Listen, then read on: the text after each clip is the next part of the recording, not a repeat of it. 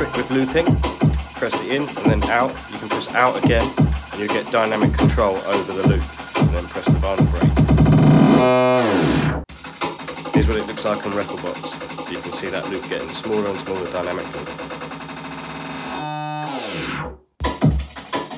You can also add effects at the end of the transition to end your DJ sets.